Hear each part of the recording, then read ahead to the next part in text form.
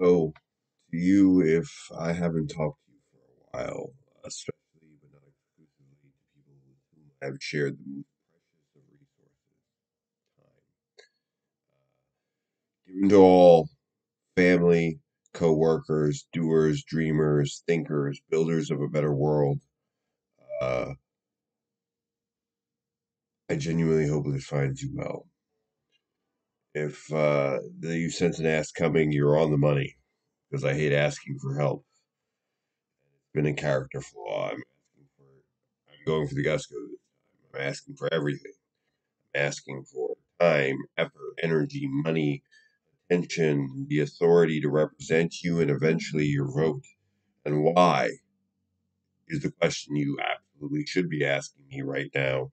And why should you entrust me with all these things? And that's because that's pretty much all I do and what I have been doing for the past few years, trying to answer the questions which, you know, regular people doing their jobs aren't necessarily going to ask because they have to do their jobs. But we know, and I think that this point of unity that I can bring to people, and the reason why this is called the call for unity is because I think that together, you know, we have the answers. We know what needs to be done.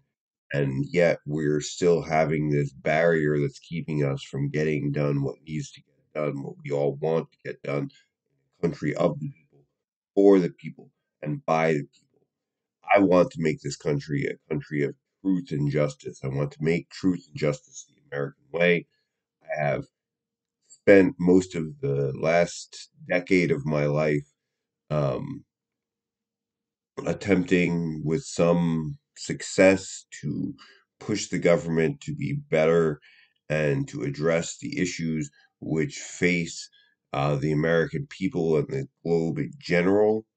Um, but there are some issues for which the American people need to address because the government is set up in a certain way and because uh, certain moneyed interests want us to stay going a certain way. And if I do what I can do, I can shift these moneyed interests to go our way so that we're investing in America.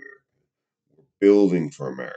I have a vision for America, and that's what we need most right now because we need to be able to see the better future to be able to, regardless of whether it's going to hurt us or in the short term, if we see that in the long term it's going to help everybody, including my, our community, achieve all of the goals that we want them to achieve, it will make people, you know, more willing to take short term losses to achieve this greater vision that we put forward. And this is possible. We just, the revolution that I really want people to have right now is, you know, the change in the mindset where we understand that we have so much, we have, you know, worked for all of humankind to get us to the point where we have these powers that allow us to change the world in ways that our predecessors did not. We have, you know, tremendous resources to change who we are and what we are, but we need to focus ourselves. And I understand in what I and what I'm promising to you is that the greatest change that you will see will come from me in terms of how I do things and how I interact with things. Um, and for a much smaller change that I'm going to ask you to do very specific things for across a whole bunch of people, this will change humanity, our concepts of what can be and what will be to a better world.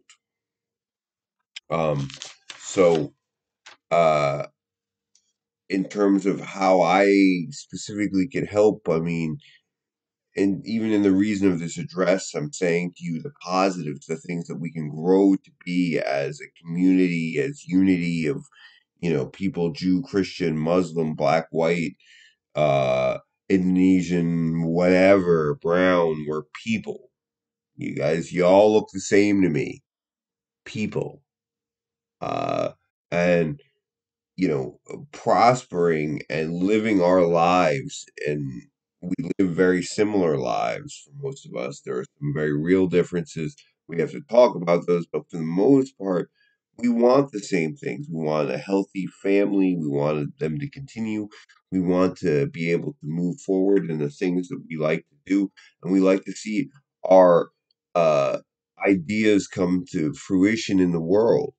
And I think that there's a place where we can kind of balance all of that, find a way to balance all of that. And especially with, you know, one of the goods of having what is a mass surveillance society is that we can learn about what humanity really is. And instead of us thinking and wondering and, you know, depending upon things of the past, we kind of verify, like, is this what people are doing? And all that has to be done responsibly but we have infrastructure to do it. We can do better, um, and we haven't been doing uh, as good as we can be. I think that's something that we can all unify around. We can all understand, and we all um, together understand um, whether we're left or right or black or white or whatever that we need to do right. We need to do it better, and we need to talk and have better conversations around these things. And there are people in between who have not our best interests in mind, or even if they do, they may be operating on old formulas. So we need to talk about these things.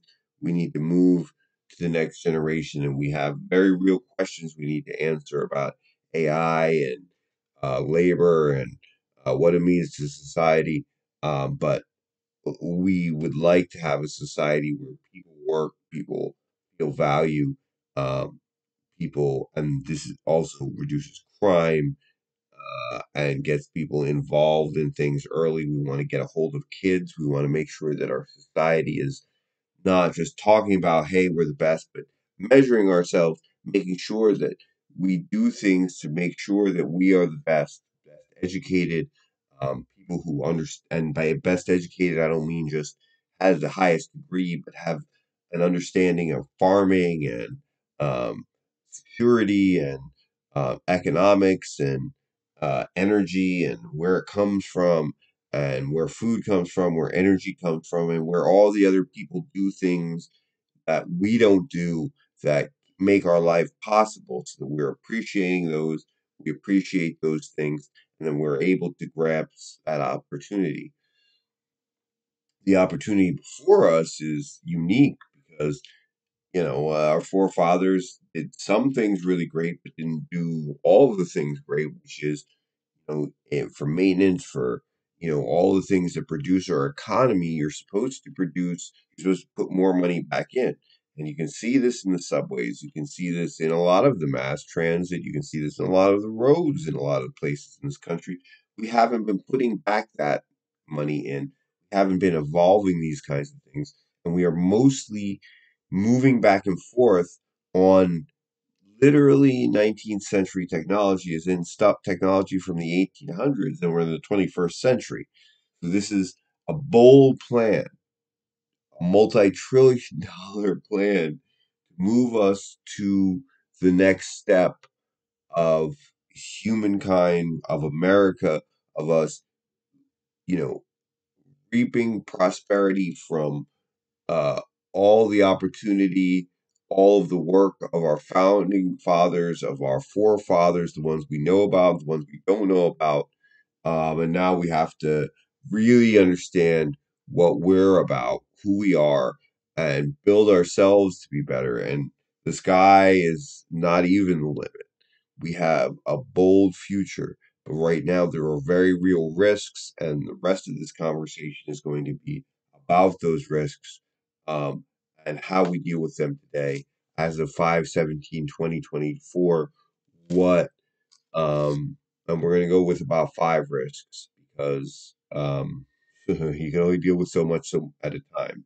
But i have an issue i have uh, plans for all of this.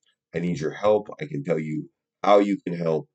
Um, so that's it for today. Um, we're going to make a start for that and i'm going to start you about all the good things that can be, all the risks that we need to take care of. Thank you for your time. I hope to work for you full time. Help me to do that.